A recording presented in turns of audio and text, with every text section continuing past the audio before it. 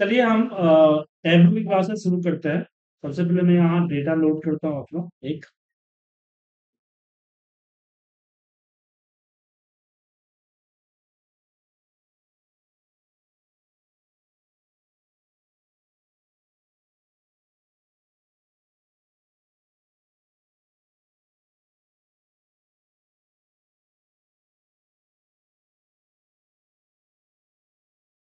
और यहाँ मेरा डेटा टैब है।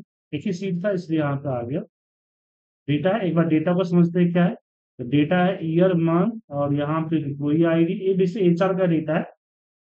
एक कंपनी के अंदर एम्प्लॉई का डेटा है। उसमें ये दिखाया गया है कि हम एम्प्लॉई का कितनी कंपनी खर्चा कर रही है एम्प्लॉई सेल करके क्या दे रहा है, कितना दिन अपसेंट कर रहा है और क्या कस्टमर रेट है। सी रेट मतलब कस्टमर ने क्या रेट किया है। टारगेट जो था, वो टारगेट उसने अचीव टारगेट अचीवमेंट परसेंटेज कितना है? ठीक है?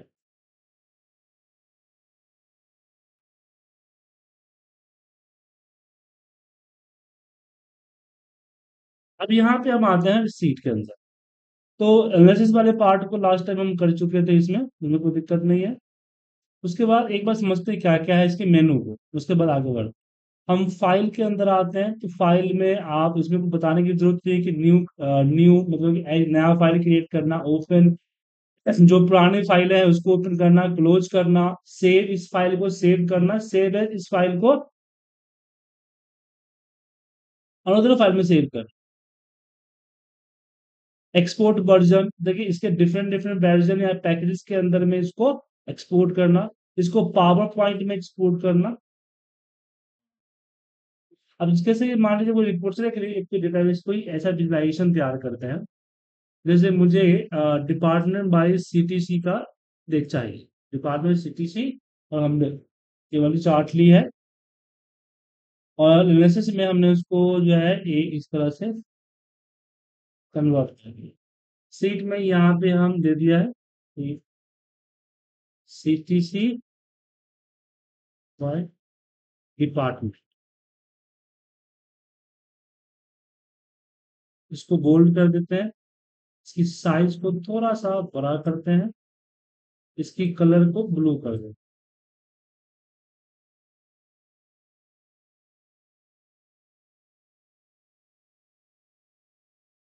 और यहाँ पे अप्लाई करके ओके कर राइट फिर यहाँ पे हम सी टी सी टैब का नाम देते हैं। फिर यहाँ पे एक और टैब बना लेते हैं। इस पे आ, मुझे कुछ फिगर्स चाहिए। तो मुझे यहाँ पे आ,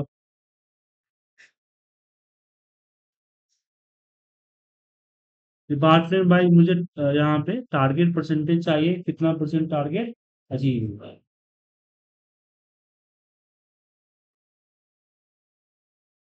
ठीक है। और हम टारगेट परसेंटेज को वापस लेवल पर रख देते हैं।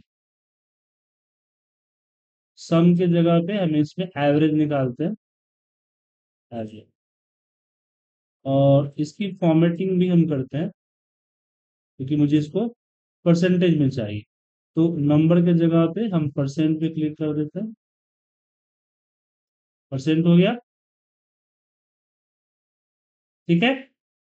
आ, इसकी जो कलर है ना कलर को हम एक काम करते हैं, ग्रीन कर देते हैं। और यहाँ पे हम, ठीक है सर टाइटल देते हैं target achieve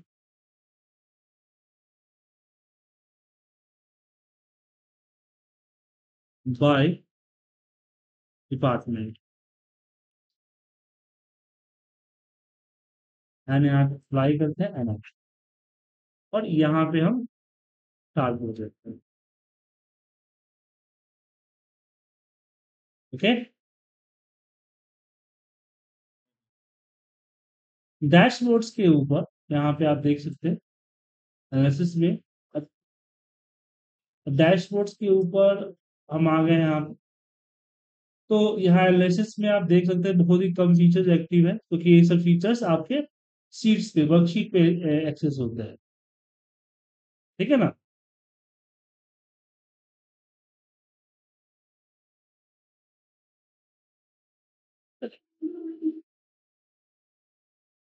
शीट थ्री पे हम यहाँ पे अपनी टोटल सीटीसी रखते हैं। इसके बाद हम अपना टोटल सेल्स रखते हैं।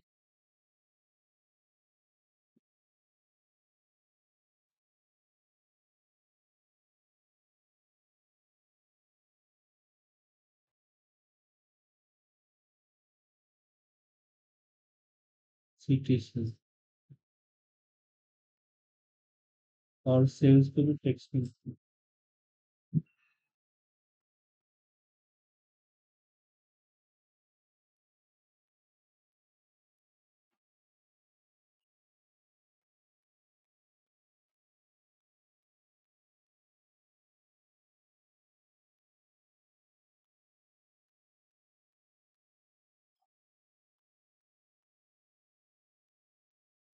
और यहाँ पे हम अपना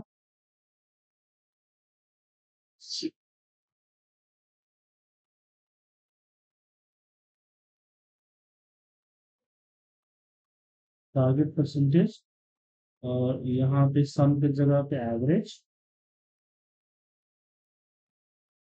और इसकी एक फॉर्मेटिंग है। सर आपकी आवाज़ नहीं आ रही। अभी नहीं आ रही आवाज़ मेरी आपको? हाँ। ठीक है? और डैशबोर्ड पे आते हैं। शीट थ्री को यहाँ रखते हैं, इस फिगर से। और इसको यहाँ से फ्लोटिंग कर देते हैं हम।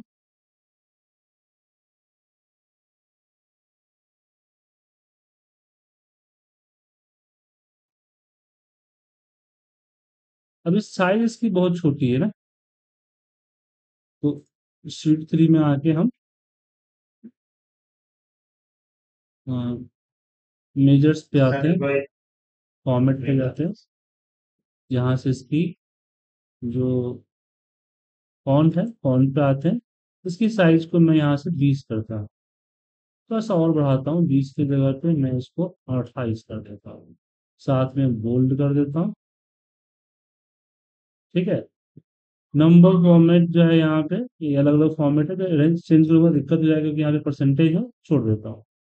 अब डैशबोर्ड में पूरा एरिया फिल करिए तो अलग अलग शीट क्या बोल रहे हैं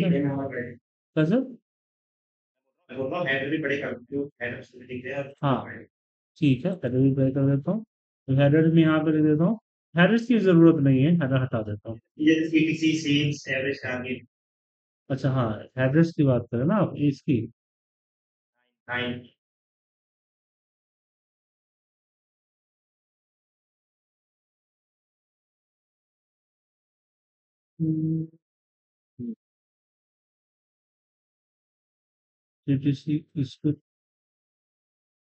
क्लिक किया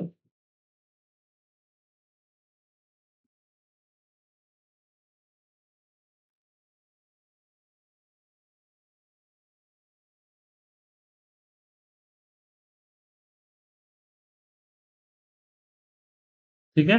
अब? अब ठीक है ना सर?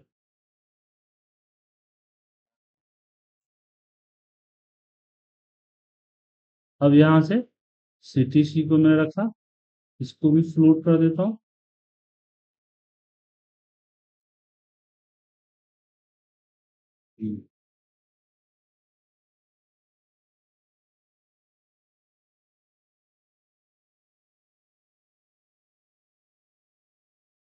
उसके बाद वापस टारगेट को यहाँ रखता हूँ इसको भी फ्लोटिंग कर देता हूँ।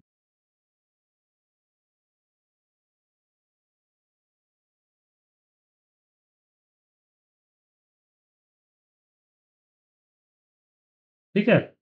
अच्छा और बन सकता था, लेकिन मैंने इतना ही रखा। यहाँ पे हमने सो डैशबोर्ड टाइटल्स में यहाँ पे हमने लिख दिया एच आर समरी रिपोर्ट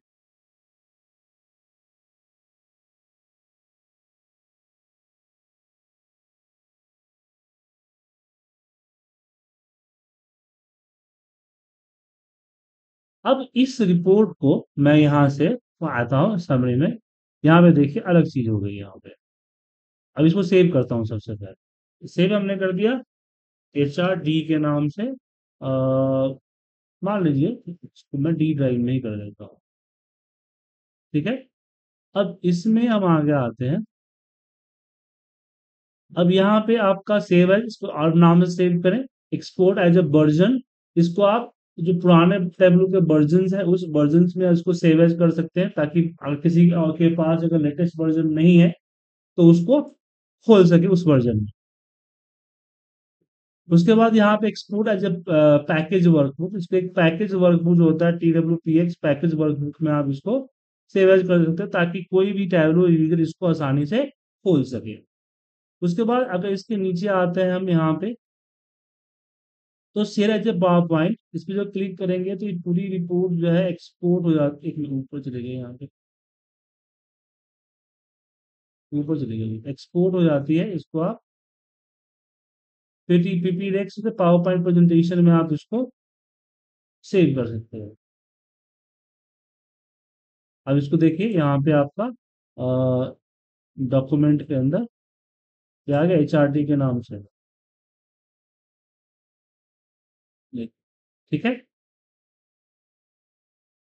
तो आपका जो डैशबोर्ड है ना, वही सिर्फ़ कन्वर्ट होता है PowerPoint okay? So start page जो पावर पॉइंट खोलते समय जो स्टार्ट पेज पे आप आते हैं, उस पे आप, आपका आ चुके हैं। ठीक है? इस पे जब वापस क्लिक करेंगे तो यहाँ पे पहुँच जाए।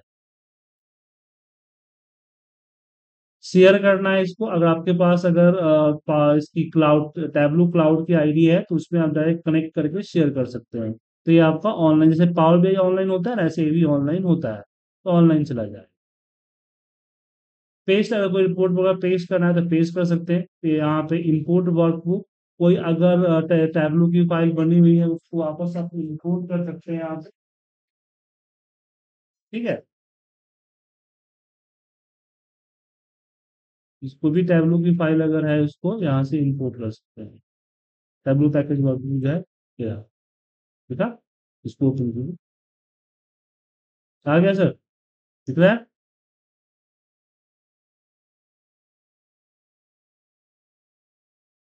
तो आपके इसी में मर्ज हो गया क्या हो गया जो फ़ाइल थी ना वो इसी में मर्ज हो गई dashboard one and dashboard two यहाँ आ जाए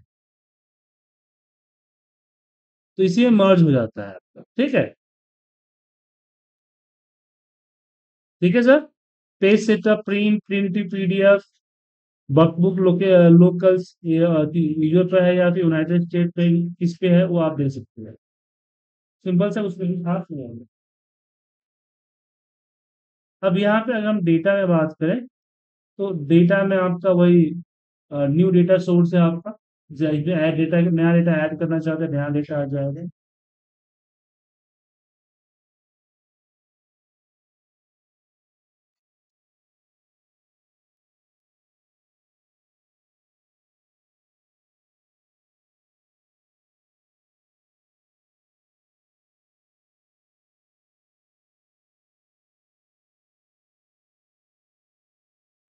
और यहाँ पे आप चेक कर सकते हैं जो आपका एच आर डेटा है और जो आपका सीट लेफ़्ट है सीट वन है लेफ़्ट उसके बारे में। है तो इस पर खास चेंजिंग नहीं होता है। इसमें आप एडिट डेटा सोर्स करेंगे तो डेटा सोर्स एडिट हो जाएगा रिफ्रेश करेंगे तो रिफ्रेश हो जाएगा। ताकि रिफ्रेश तो हम डेटा सोर्स में क्या कर सकते हैं। व्यू डेटा पे क्लिक करेंगे तो ये डेटा आपका व्यू हो जाएगा। इसके बारे में जो आपने सेलेक्ट कर रखा है, उसकी बात कर रहा हूँ। सेलेक्ट किया ना, उस पर वर्क करता है डेटा आपका। ठीक है?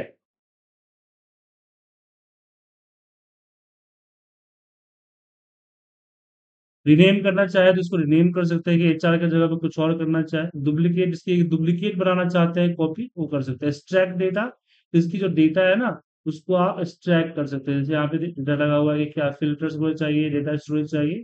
अब यहाँ पे यहाँ पे एक्सपेंड ऑल कर दीजिए। तो ये एक एक करके सिलेक्ट कर सकते हैं कि आपको क्या करना है।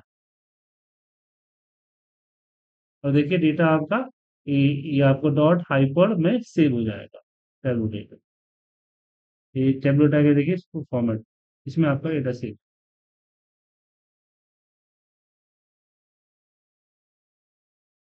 अब वर्कशीट से रिलेटेड तो आपको वर्कशीट पे जाना होगा, जब वर्कशीट पे आएँगे तो आपका वर्कशीट वाले फीचर हाईलाइट हो जाएगा.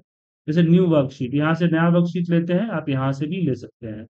उसके बाद आता है कॉपी अब इसको डेटा कॉपी करना है या इमेज कॉपी करना? है इमेज पे क्लिक किया तो ये देखिए आपको इमेज किस फॉर्मेट में कॉपी करना? तो मैं बोला इस फॉर्मेट में यहाँ पे कॉपी करना। है इमेज यहाँ पे क्लिक पे लिखा आपको टाइटल भी चाहिए व्यू भी चाहिए कैप्शन भी चाहिए और यहाँ पे कॉपी कीजिए। ये आपका इमेज कॉपी हो गया। अब इसको किसी और वर्जन पे जाके पेस्ट कर सकते हैं आप। ठीक है? तो इसको कॉपी कर सकते हैं आप। अब कॉपी की जगह पे यहाँ पे इसको एक्सपेड कर सकते हैं। यहाँ पे यहाँ पे क्रॉस टैब टू एक्सेल पे क्लिक कर दीजिएगा। यहाँ एक्सेल फ़ाइल खुल गया। देखिए, इसका डेटा यहाँ पे आ गया। चार्ट नहीं आएगा बट डेटा आ जाएगा यहाँ। क्रॉस टैब एक्सेल करते ही नया एक्सेल फ़ाइल खोलेगा, उसमें आपका डाल। क्रॉस टैब करेंगे तो क्रॉस टैब भी वही करता है। ओके?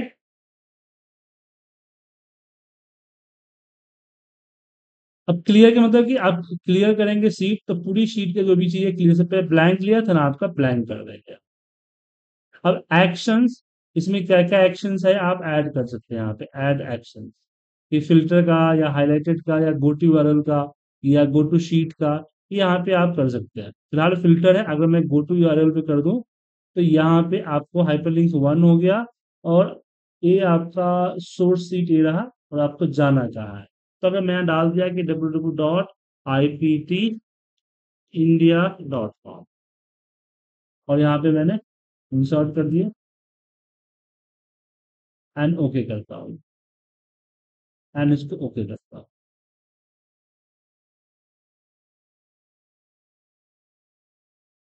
और वर्कशीट में वापस एक्शन पे आता हूँ। ये एक्शन आपको सामने दिखेगा। आप एडिट रिमूव कर सकते हैं। तो इस पे जब हम डैशबोर्ड पे आएँगे तो इस पे क्लिक करते ही, चला जाना चाहिए था ना। अरे रिपोर्ट जब ये रिपोर्ट व्यू में आएगा ना, पहले व्यू में आएगा तो वर्क करेगा। इस पे क्लिक करते हैं आप जो है, पहुँच जाइएगा। गो टू सीट फिर नहीं है ना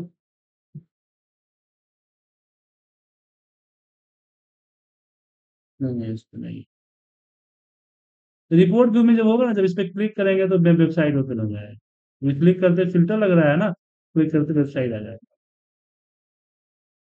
यहाँ यहाँ हाइपरलिंक दिख रहा है आपको, हाइपरलिंक वन। किसी भी कर्सर इस पर क्लिक करेंगे तो यहाँ पे हाइपरलिंक वन आ गया, इस पर क्लिक कीजिए, वेबसाइट खुल जाएगा। खुल वेबसाइट सर तो इससे रिलेटेड कभी कभी क्या होता है, कुछ बनाते हैं, उससे रिलेटेड कुछ इन्फॉर्मेशन होती है, जो इन्फॉर्मेशन हमें देने होते हैं। तो उसके लिए इसका यूज़ करते हैं। रेफरेंस वगैरह जो होते हैं ना, वो देने के लिए। उसके बाद सेम शो टाइटल कीजिए शो कैप्शन कीजिए तो शो करना आपको, जो क्या शो करना चाहिए शो कार्ड कीजिए। तो ये आपको बस शो करने के लिए होता है। डिस्क्राइब शीट शीट को डिस्क्राइब करना चाहते हैं कि भाई क्या है डिस्क्राइब करके आपको यहाँ पे दे देगा। यहाँ सिंपल। डिस्क्राइब। इसमें कोई खास नहीं है। ऑटो अपडेट ऑटोमेटिक अपडेट होगा या ऑटो अपडेट जब ऑफ़ होगा तो रन अपडेट होगा। क्लिक करते हैं आपका डैश अपलोड अपलोड हो जाएगा। वर्कशीट के बाद हमारा डैशबोर्ड आता है। तो डैशबोर्ड के अंदर यहाँ पे कुछ चीज़ें जैसे न्यू डैशबोर्ड ले सकते हो। यहाँ पे डैशबोर्ड का लेआउट एड टू डेस्कटॉप। तो डेस्कटॉप के लेवल पे आपका ये डैशबोर्ड बनकर तैयार हो जाता है। यहाँ से अपना ये फिट ऑल कर देंगे तो आपके फिट में हो जाएगा या फिट ब्रिथ एक ब्रिथ सेलेक्ट कर लीजिए, उस ब्रिथ में आ जाएगा। या डिफ़ॉल्ट है तो डिफ़ॉल्ट आ जाएगा। या आपको डिवाइस प्रीव्यू में देख सकते हैं कि आपको डिवाइस प्रीव्यू दिखाएगा। अगर फ़ोन पे है इस फ़ोन के डिवाइस प्रीव्यू दिखाएगा। तो किस आप, जो डैशबोर्ड बनाना चाहते हैं, उसका सेटिंग है कि आपका डैशबोर्ड किस फॉर्मेट में होगा। अगर डैशबोर्ड में आपने अगर लेआउट में अगर टैबलेट कर दीजिए तो फिर टैबलेट के फॉर्मेट में यहाँ टैबलेट भी आएगा तो जिस फॉर्मेट में आप है, उस फॉर्मेट में कर सकते हैं। इसमें डिफ़ॉल्ट रखें फिट ऑल करें तो पूरा फिट ऑल हो जाएगा थोड़ा सा बड़ा होकर उसमें फिट हो जाएगा। या किसी पर्टिकुलर ब्रिथ में करना चाहते हैं तो ब्रिथ में कर सकते हैं। या कस्टम में आते हैं तो यहाँ पे अपने हिसाब से चूज़ कर सकते हैं कि आपका क्या हॉरिजॉन्टल अलाइनमेंट या वर्टिकल कंटेनर टैक्स ये सब चीज़ें आप यहाँ पे स्टोर कर सकते हैं चेंज कर सकते हैं अपने हिसाब से। ठीक है? अब इस पे एक आप, मैं कस्टम से हटा देता हूँ डिफ़ॉल्ट रहेगा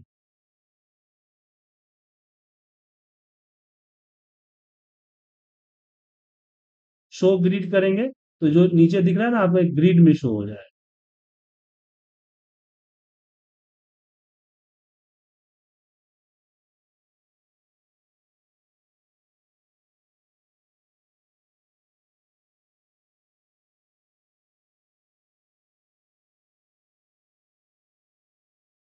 कॉपी इमेज इसको कॉपी इमेज कर ले एक्सपोर्ट इमेज कर दे टाइटल शो करना है टाइटल शो कर सकते हैं ऑटो अपडेट हो गया, है, और यहाँ पे आपका जो है लेआउट्स को ऐड कर सकते हैं। ये आपकी डैशबोर्ड ठीक है? मैप फॉर्मेट हम कर ही चुके हैं इसमें। विंडोज़ आपके दस व्यू के लिए होता है कि जो आपका व्यू में क्या क्या दिखना चाहिए, उसके लिए होता है, उसमें खास उसमें चेंजिंग नहीं है। सर्वर इसमें इंक्लूडेड नहीं है आपका टैबलो सर्वर क्योंकि इसके लिए बाय करना पड़ेगा, तब टैबलो सर्वर चलेगा। और बहत्तर डॉलर सर बहुत महँगे हैं, इसलिए मैं इसको इग्नोर करूँगा। मैप जब मैंने पढ़ाया था तो मैप आपको बताया था कि मैप की चीज़ें में क्या है, ये चीज़ें हो गई। बस आपकी क्लास क्लास बची है स्टोरी के लिए। यहाँ आप देख पा रहे होंगे कि सीट होता है, यहाँ पे आपके सामने वर्कशीट होता है, इसके बाद यहाँ पे एक नई स्टोरी होता है। अब क्या होता है स्टोरी इस, जिसके बारे में थोड़ा सा हाईलाइट जान लीजिए कि कई सारे शीट्स को मिला के आप एक डैशबोर्ड बनाते हैं तो कई सारे डैशबोर्ड्स को मिला के हम एक स्टोरी बनाते हैं। तो स्टोरी जो है, वो हम कल की क्लास में स्टोरी बनाएँगे भी और उसके जो फीचर्स हैं स्टोरी के, वो फीचर्स के हम आपके साथ डिस्कस करेंगे। उसके बाद आपका टैबलू का कोर्स हो जाएगा खत्म। ठीक है? चंद्र जी हाँ जी।